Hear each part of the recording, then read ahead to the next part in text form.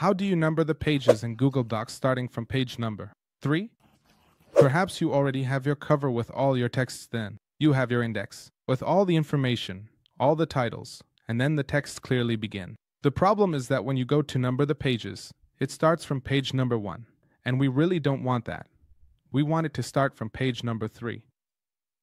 For this, the first thing we are going to do is go right. After the point where we do not want a page, or page numbering to be generated, that is, in this case, we go to the index because we do not want either the cover or the index to be numbered, so we would stop here.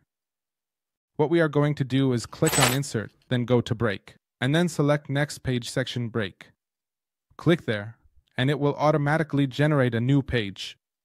It doesn't matter if what you already have shifted a bit, just move it back up to the beginning of this page, and now what we're going to do is just leave it there.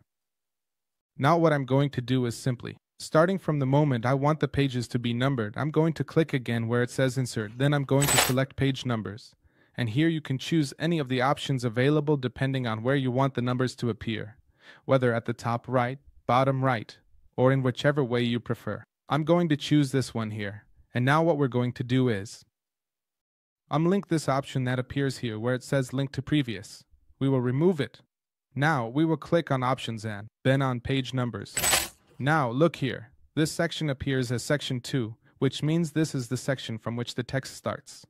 If you want to number the entire document, you can select that option, and it will number from the first page. However, in this case, we want it to only number from this section here. Now, what we will do is click on Start At 1 so that from this section, which is where the text begins, it starts numbering from 1. If I select from the previous section, it will take all the other pages and number them from 0. So I click Start at 1 and then Apply, and this way, it will be set. But surely if you go up, you will notice that it will also show 1 and 2 here. It's very simple. On these first two pages, we will click on Options, remove the header, and that's it. Then, on the second page, this will also be removed. As you can see, it will now automatically number from the first page. If I start making breaks, notice that from that page, starting from the third page, it begins with 1, and it will start numbering 1, 2, 3, 4. Remember, you can always change this in options and click on header format if you want to change the design or style.